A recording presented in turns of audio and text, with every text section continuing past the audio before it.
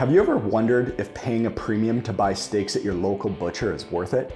Well, that's the question that we're here to answer today. We've got two prime graded New York strips. One's from the butcher, the other's from the grocery store. The one from the butcher, it's about twice the price, even though these steaks are the same size, the same cut, and the same level of grading.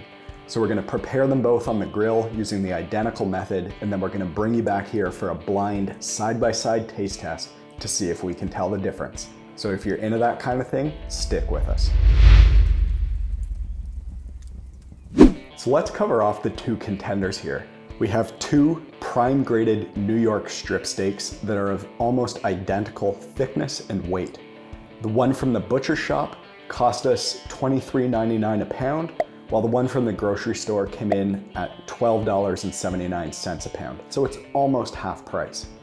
But as you can see here, there's really similar marbling between the two cuts. And even when you look at some of the signs of a cheaper steak, like the level of silver skin that exists between the muscle and the fat cap, we really have minimal silver skin on both of these steaks.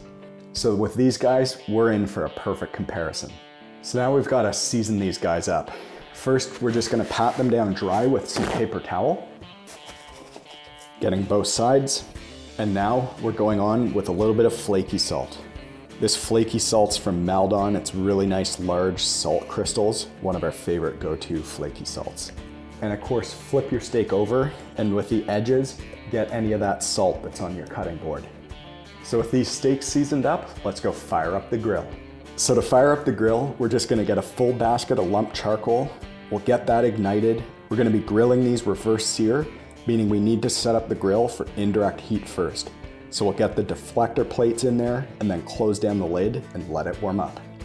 Open up the vent slightly and we're aiming for an internal temp on the grill here of 225 to 250. One thing I forgot to mention, at the start of this cook before you put your steaks on, as your grill's heated up to 225 to 250, you wanna make sure you get really nice clean blue smoke.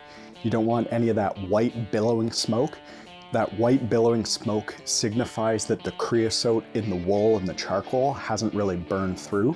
So you want to let your grill come up to temp and make sure you're getting that clean blue smoke. Otherwise, you might impart a bitter flavor profile onto your steaks. So the grill's up to temp here, and in the meantime, we've had these steaks resting for about 45 minutes. So we're gonna get these onto the grill, and then we'll get temp probes into the thickest part of the steak. We're gonna wanna monitor the temp of these steaks and we're looking for an internal temp of about 110 before we take these off and get this grill ripping hot to sear them off at the end. So this one here is the grocery store steak.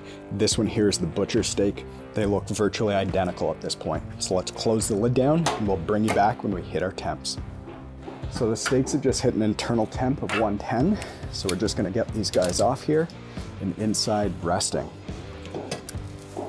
So now that the steaks are inside resting, we're just gonna get the grill set up for a direct sear. And it'll take probably five to 10 minutes to get this grill ripping hot. We're aiming for a temp of four to 500 degrees Fahrenheit, and then we'll finish searing off these steaks. So we got the grill up to temp here. It's a ripping 400 degrees hot. Now that we've got the steaks on the grill here, we're just gonna let them sear away for a couple minutes, flipping every now and then until we hit an internal temp, 128 to 130.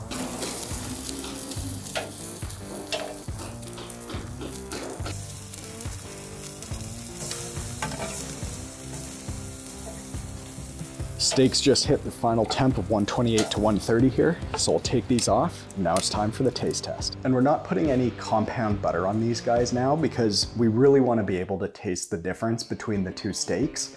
Now, I'm actually really excited to see what the outcome is. And regardless of what the outcome is, I think it's important to ask yourself a couple of questions before you go to the grocery store versus a butcher. Now there's a couple of things you might want to ask yourself to determine whether you need a butcher in your life regardless of the outcome here. And the first one is whether you know how to pick out a good steak. If you're not familiar with that, you might actually need the extra customer service that a butcher provides to be able to pick out a well-marbled, thick, good, juicy steak for you. Another thing is butchers tend to have larger selections than grocery stores. You know, a great example of that is dry aged beef.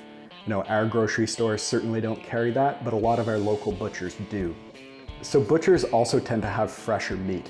They're more connected to the local farming community, and at grocery stores, a lot of the steaks tend to be pre-cut and pre-packaged, versus at a butcher, you can actually talk to them, understand where your beef's coming from, and oftentimes they'll actually cut that steak for you on the spot.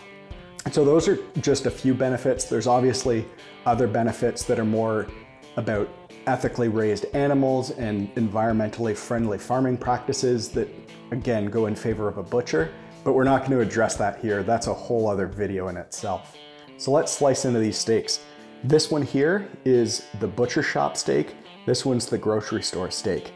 So we're slicing into these steaks here, and both of them have a really similar crust. So I don't think there's any difference in terms of how the exterior of these actually look. Really tender as we slice through. Frankly, same with grocery store steak.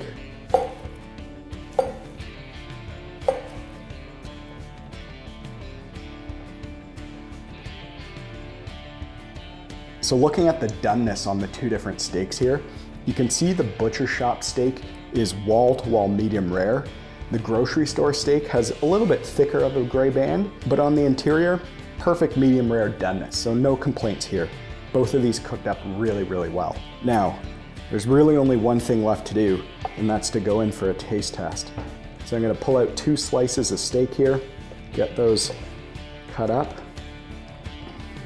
And now it's time for the blind taste test. So let me go get something to cover up my eyes. So now we're gonna get our blindfold on here, which is really just a toque.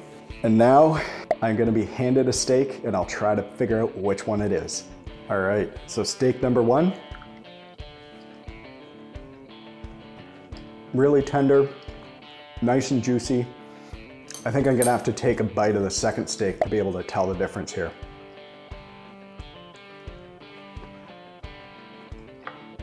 Wow, that's so close. I'm gonna have to do another bite of each of these just to tell. All right, now we're gonna try the second one again. Wow, that is really close. There's a really minimal difference between these two steaks. Both of them super juicy, really tender. I'm gonna guess that the first one was the grocery store steak and the second one was the butcher shop steak. mixed it up. Really? Yeah. Wow. So my wife told me I just got those two mixed up. So there clearly can't be much of a difference if I'm getting them mixed up. Again, these were both the same cut, th same thickness, same grading, but one was half the price. So if you like this video, consider giving it a like and subscribe to the channel for more of these steak experiments to come. Thanks for tuning in. Really appreciate you all being here. And hopefully we're gonna cross the 100,000 subscriber mark this year in 2021.